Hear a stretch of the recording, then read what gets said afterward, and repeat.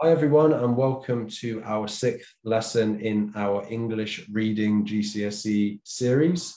Um, if I say anything stupid today, I apologize. I think I have COVID, which kind of sucks.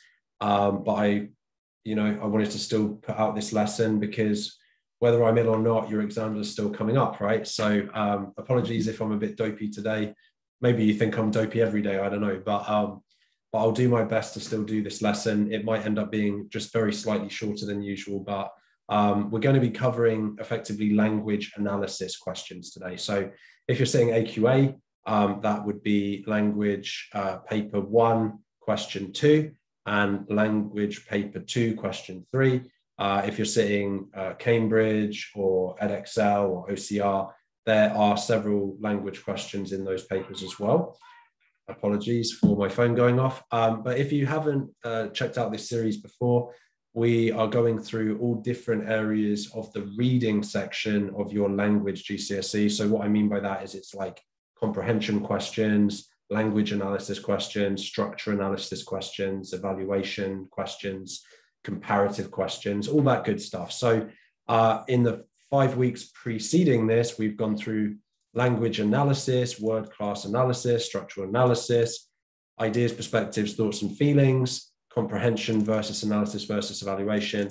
And today's lesson, we're going to be starting, as I say, how to plan out these more language analysis questions. So if you haven't seen the first lesson, which was on how to analyze language, I recommend you check that out. And that will pair well with this lesson today. But we're going to do a bit of a language analysis today anyway. So this is the 2020 paper for AQA. Now, if you aren't AQA, please don't be put off. Like a lot of what I'm going to talk to you about today is exactly the same as what you would do for the other exam boards as well. Now, the reason that is, you might not know this. I'm obviously I'm a bit of an exam nerd because I'm an English teacher. Um, so the government sets the standards for the exam papers. So just because um, just because uh, you're sitting AQA or Edexcel or OCR or whatever, the government still sets like you have to include these questions and these standards and these things. So regardless really of whichever um, whichever paper you're sitting, there will be some language analysis as part of what the government sets as part of what you should be learning in English language.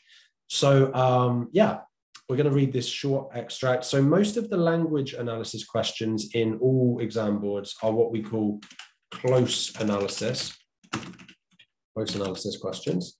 And so normally it's sort of five to 10 lines that you have to go quite deeply into.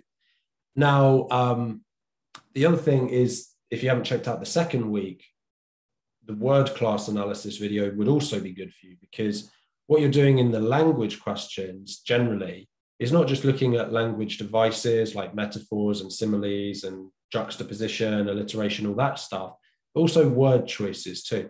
So we're going to read this together. I'm going to generate a few ideas, but the way I would plan for this question so the question is, how does the writer use language to describe the garden? So, what I'm going to be trying to do as I read is coming up with a few different points of how the garden seems to be described, right? So, every time I'm getting a piece of evidence, it might go, there might be several bits of evidence that seem to do the same thing, or there might be you know one bit of evidence that points to one thing about the garden and another bit of evidence that links to another thing about the garden. So i'm just i'm just trying to map that out as i read a little bit. Now for aqa at least and i think for most of the other exam boards um, you can't spend that long planning this okay? So i'm actually going to try and do this in about five minutes. Now in some of my other videos like my poetry videos and stuff I literally physically put up a timer. I'm not going to do that today just because it's a bit of faff and mucking around. So just let's try and do this within no more than five minutes though. So we've read the question, we know it's about how the garden is being described. Then we're going to read this little extract and we're going to try and find ideally sort of four to six bits of word choices and language devices that describe the garden as something, right? That's the other thing you could just in your mind have written down before you start, you could have garden described as X, garden described as Y, garden described as Z. That's when you know I'm still British, even though I live in America, because I say Z, not Z, like the Americans. Also, British people basically don't use Z, right? Like, you know, in American English, you've got like analyze and realize and um, whatever, like, uh, uh, why am I black? Well, this is how you know I'm ill. I can't think of a third word. This is American English, right? Whereas we hate Z. We have it in our alphabet, but we never use it because we're analyze, realize with an S. Anyway, I'm chatting nonsense. Maybe I've got a fever. so let's read this thing and let's find some some good evidence. So Rosie had made a quick check of the unfamiliar garden before letting the children go out to play. So straight away in this first bit, we get this sense of the garden being mysterious and unknown. Yeah. So I don't know how good this quote will be relative to some of the other quotes that we find, but we can say the garden is described as mysterious unknown. Be great if I could type today. Okay, so unfamiliar garden. The bottom half of the garden was an overgrown mess, a muddle of trees and shrubs. Okay, cool. So this bit here is imagery. Uh, so unfamiliar, that's an adjective. The garden here is described as, as you know, wild and mess, mm, wild and uh, untended. You see that here, an overgrown mess, a muddle of trees and shrubs. And this is uh, imagery. So as you're going through the quotes as well as you're planning it, I would try your best to work out whether it's a word choice and what that word class is, noun, adjective, adverb, so on, or whether it's a language technique, so metaphor, simile, imagery, whatever. Yeah. An ancient mulberry tree stood at the center. Its massive tri- twisted branches drooped to the ground in places, its knuckles in the earth like a gigantic malformed hand. Okay, so um, its knuckles in the earth like a gigantic malformed hand. That is personification. And I think that that is a separate point as well. So I think that this one, uh, personification, it suggests that the garden is described as being alive uh, and uh, being alive and uh, and uh, how do I would say this? Described as being alive and um, old. Yeah. So the other thing would be the word choice, ancient, and obviously that is just another adjective. So it's old and alive. And then when you then think about the fact that his knuckles are like a big malformed hand, maybe it suggests the age as well, because sadly, as people age, they tend to like get, unfortunately, things like arthritis or other conditions that can make, you know, I, I'm thinking about my own granddad, sadly, like before he passed away, one of his hands, because of arthritis, just got more and more closed up. So his hand was kind of like this and he couldn't, he couldn't open it, unfortunately it was really sad. And that's actually happening to my current nono, that's Italian granddad. He's also got like a, a malformed hand, sadly, because as he's aging, the arthritis and other, you know, things going on with his body, I guess, are like, you know, closing his body down. Anyway, so uh, that's the imagery there. So you've got ancient and you've got the malformed hand personification. The wintry sun hung low in the sky, and the gnarled growth threw long twisted shadows under across the undergrowth within its cage. So this bit here, you've got the gnarled growth threw long twisted shadows. So again, this is imagery, but this imagery I think maybe could change our first point. So never be married to your ideas. Like your ideas might change as you go through, and that's totally fine. So the garden is described as mysterious and intimidating. And we see that through the gnarled growth, so the alliteration, and also the twisted shadows. So you've got alliteration, and you've also got um, connotations or symbolism. Symbolism of twisted shadows is very sinister. The trunk of the tree was snarled with the tangled ivy that grew up through the broken bricks and chunks of cement, choking it So the tangled ivy grew up through the broken bricks. So again, this is really uh, imagery. Um, I would say you could probably talk about the uh, the verb choices though here as well as adding to wild and untended, right? So tangled ivy, broken bricks. So wild, untended, and uncared for, we might add in. Yeah. So you've got the verb choices. Uh, oh, I'm sorry, verb, verb choice and broken is adjective again. Now, we'll finish reading it just in case there's anything else, but that is technically all done. And hopefully that took less than five minutes. Um, so the path that led down towards the fence of the barn, which marked the garden off from an orchard beyond, disappeared into a mass of nettles and brambles before it reached the padlocked door. So massive nettles and brambles, you could also definitely talk about that if you wanted to, as part of it being wild and untended. So you could actually have three bits of evidence here if you wanted to. Wait, that's not right. That's the bit I wanted.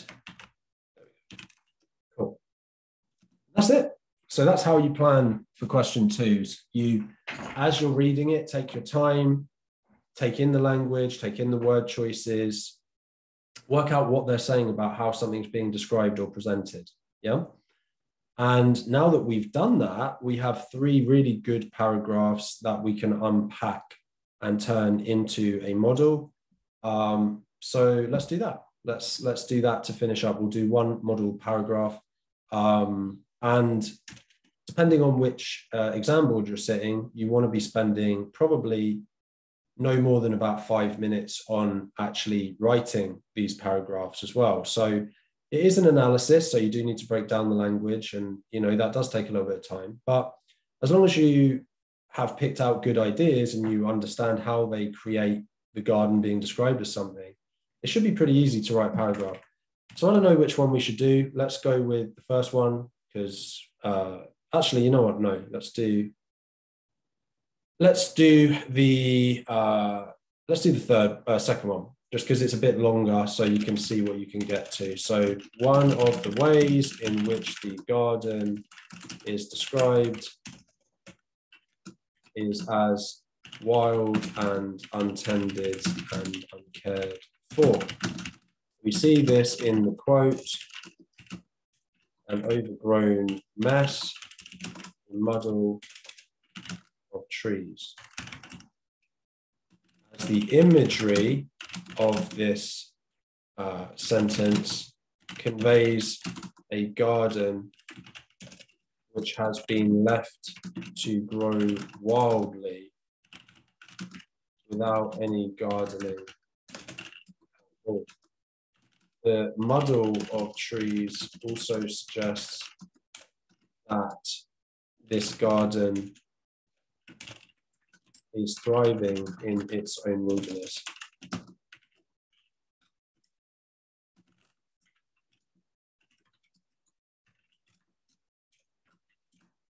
Uh, secondly, the quote, tangled ivy, uh, or the quotes, I'll put these together, tangled ivy and broken bricks suggests wildness of the garden, since if something is tangled, it is not well organized. And uh, the broken bricks show that there is also some neglect and that it has not been well cared for. Finally, the mass of nettles. Oh.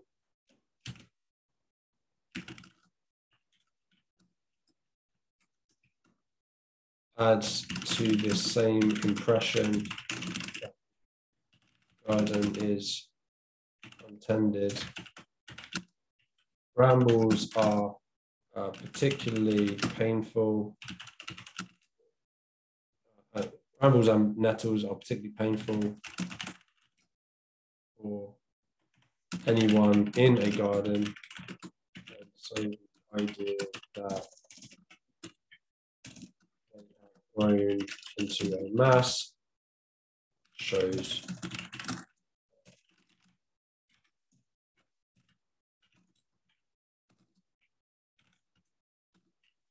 There you go. Okay, cool. So that is that hopefully took less than five minutes. Let's see. Yeah, I think it took a bit less than five minutes. And it's that's basically what you're trying to do. You're going from one quote to the next to the next. It's 167 words.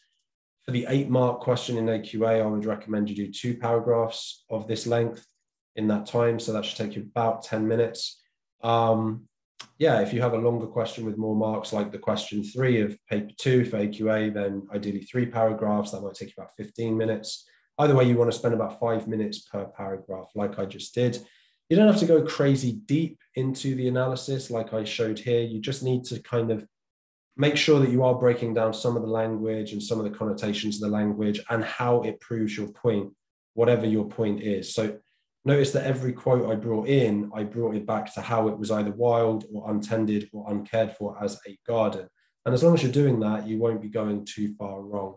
Um, so you can apply this same principle to any piece that you look for. What I would say is uh, one final thing I would say, sorry, which I didn't actually mention as I was doing the plan, but just make sure that there is a little bit of diversity in your ideas, right? So if you've put an adjective or a word choice as your first point, maybe try and have a language device as your second point, right? Uh, if you've got imagery for your first point, try not to have imagery again for the second point, try and do something different. So every single one of these um, quotes that I picked is showing off to the examiner one thing that I know from language or word choices. I'm showing the examiner I know the different word classes and I can analyze how those word classes are used to describe the garden. I'm also showing that I know a few different um, language devices. So I'm not just doing metaphors or just doing alliteration or just doing personification or whatever. I'm doing a diverse range. So make sure that you do that in your piece. Don't have too much of the same stuff. That would not go well. Um, other than that, I think that's everything really from today's lesson. So I hope that was helpful. These lessons where we go into planning and just diving in will probably be a little bit shorter because, you know, I, have told you how to analyze, now I'm telling you how to plan. Um, so yeah, hopefully you liked the video. If you did, please give it a thumbs up. If you have any questions or comments, please do comment down below or question down below and I will answer. I've had a few great comments and I've been answering those. So thank you for that. And um, yeah, I will catch up with you in the next video. So thanks very much for joining.